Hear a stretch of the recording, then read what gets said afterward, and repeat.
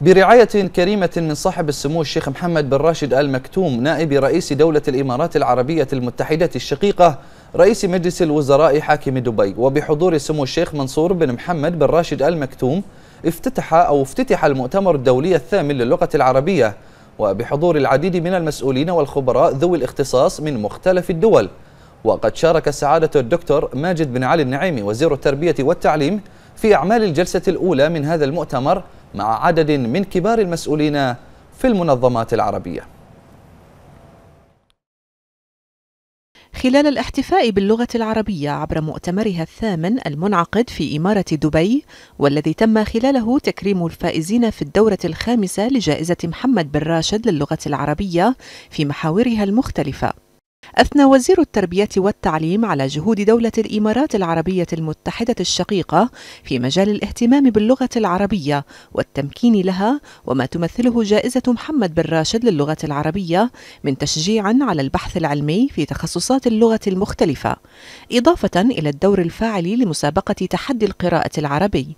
وأشار الوزير إلى اهتمام مملكة البحرين بتعزيز تدريس اللغة العربية في مختلف المراحل الدراسية تم خلال هذه الجلسة الحوارية توضيح اهتمام مملكة البحرين باللغة العربية من خلال المناهج الدراسية أو استخدام الطرائق المختلفة لإيصالها للطلبة في أسلوب مشوق يشجع على دراستها. بينت خلال هذه الجلسة التطور الكبير الذي شهده تدريس اللغة العربية والاهتمام بها بفضل توجيهات سيدي حضرة صاحب الجلالة الملك حمد بن عيسى آل خليفة عاهل البلاد المفدى حفظه الله ورعاه عندما أمر جلالته بتنفيذ مشروعين مهمين جدا في المسيرة التعليمية. سواء من خلال مشروع جلالة الملك حمد لمدارس المستقبل أو التمكين الرقمي حيث تمكنت وزارة التربية والتعليم من تحويل العديد من الكتب الدراسية والجلسات الحوارية والمادة الإثرائية التي وصلت بالآلاف وتم تحميلها على البوابة الإلكترونية لإيصال المعلومة للطلبة. هذا سوف يكون له بعون الله أثر كبير على تدريس اللغة العربية داخل مدارس وزارة التربية والتعليم كما شدد على عناية الوزارة باللغة العربية حيث تم إنجاز العديد من المواد والأنشطة الخاصة بهذه اللغة منها أكثر من 5600 درسا إلكترونيا وما يزيد عن 30 ألف نشاط وتطبيق وأكثر من 7700 حلقة نقاشية إضافة إلى 28 ألفا من المواد الإثرائية من إعداد معلمي الوزارة. وضعت جميعها على البوابة الإلكترونية للوزارة.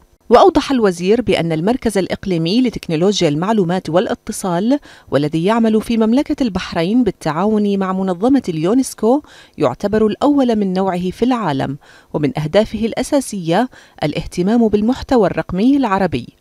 مبينا بأن وزارة التربية والتعليم خطت خطوات مهمة لتفعيل اللغة العربية في كافة المراحل التعليمية من خلال مشروع اقرأ وأنه على ضوء إعادة تنظيم الخطة الدراسية بالمدارس بعد أن اتخذت الوزارة قرارها بإلغاء الواجبات المدرسية واستبدالها بالتطبيقات المدرسية اليومية في المدارس مكن من تخصيص ثلاث حصص أسبوعية للقراءة باللغة العربية.